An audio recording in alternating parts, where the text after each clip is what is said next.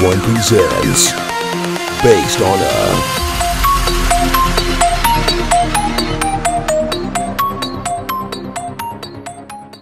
Live action comic book feature films were just not prevalent in the 70s and 80s.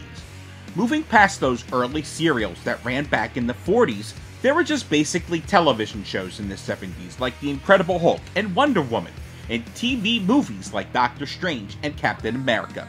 The Batman 66 television show proved popular enough to release a feature film based on the series, but that theatrical film did not light the box office on fire. It wasn't until Richard Donner's Superman proved to be a massive success for Warner Brothers in 1978 that would finally kick off the superhero genre of films, though superhero films would remain in its infancy for nearly 10 years. Michael Uslan had collected comics since he was a kid, a lifelong comic book fan who had recently graduated law school, written comic books for DC like The Shadow, and was learning the ropes of the movie business out in Los Angeles. Uslan's producing partner was no industry freshman. Benjamin Melniker had begun his career at MGM back in 1939, and by the time he left MGM as the executive VP and chairman of the film selection committee, he had greenlit some of the biggest films in cinematic history, including Dr. Zhivago, Ben Hur, and 2001 A Space Odyssey. Now partnered together, there was only one DC character that Uslan and Melniker wanted to see on the big screen, and that character was Batman. Producer and executive producer of films like Christopher Nolan's Dark Knight trilogy, Constantine, and Justice League. Swamp Thing producer Michael Uslan. We had just finished negotiating the deal and signing the deal and paying the money to acquire Batman. And I realized very quickly that to get that up and running is going to take as many as two to three years. Had I had any clue at that moment that it would wind up taking 10 years to get the first movie made, uh, I don't know what I would have done, but the George Washington Bridge would have looked sweet. So I needed something that we could do quickly.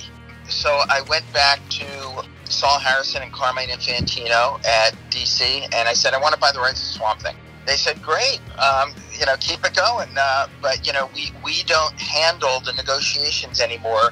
They're handled by Warner Publishing. So you got to go back to them to, uh, to do this. This was circa 1979, 1980. And the people who generally were running the movie business were people who were already adults in the 1950s when comic books came under attack and were blamed for being the primary, if not the sole cause, of the post World War II rise of juvenile delinquency in America.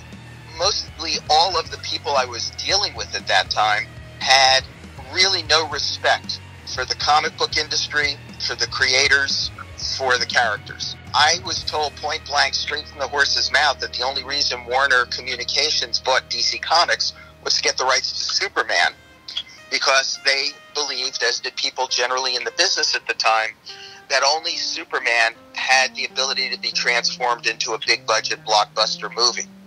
And that there was nothing else of value in DC's library and certainly not Marvel's library. We went back and I said to the Warner Publishing folks, I want to now buy the rights to Swamp Thing. And he looked at me and his jaw dropped and he said, Swamp Thing?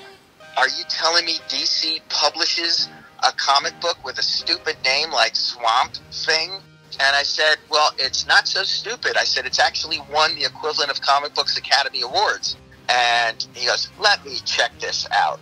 He made some calls. He comes back in. He goes, well, we used to publish this, but DC doesn't publish it anymore. He goes, it just sounds so stupid. so uh, I said, well, if we make this movie deal, then DC will bring this back. It'll blow dust off of an asset that's just gathering dust in the library and we'll create revenue again. And he said, There's no way we're ever bringing back Swamp Thing. He said, It's worthless. And at that moment, I said, You know, you're right, it is worthless. So why don't you give it to us for free? If you give it to us for free, we will commit in writing to spend no less than $15,000 of our own money to develop the asset to get this thing underway. So he gave it to us for free. And in the contract, it said that we had the rights to all characters and stories appearing in the pages of Swamp Thing, and uh, heretofore or hereafter appearing in the pages of Swamp Thing. So as a result of that, we automatically became the owners of Constantine, and I believe the last total was 11 different characters who had been introduced in Swamp Thing. With the rights of both Batman and Swamp Thing now secured, the race was on to bring both characters to the big screen. In this respect, Swamp Thing was the big winner, as even though Batman was announced in 1980 with a $15 million budget and Peter Guber and Jon Peters attached to produce, that film would take many years to reach the big screen. But Swamp Thing was already years ahead in terms of production, with an established hard director on board to both write and direct the film. Swamp Thing producer Michael Uslan.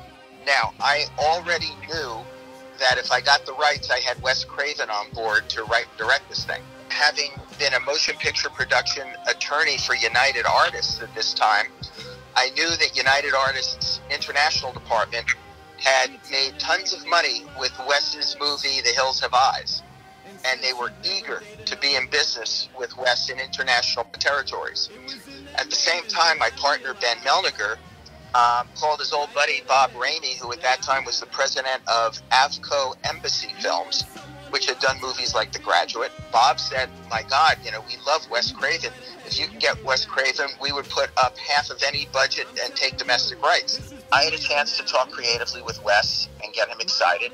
Wes was looking to branch out and not simply do straight horror totally got him into this thing and showed him the original 10 or 11 Swamp Thing stories by Bernie and Len. He loved them. His agent at the time was an old school Hollywood agent, Marvin Moss, who was an old friend of Ben's.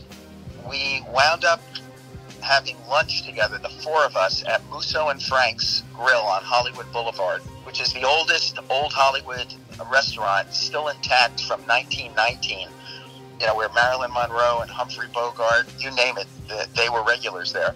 And we were sitting there, and Ben and Marvin wound up writing down on a napkin at Musso and Frank's the different deal terms.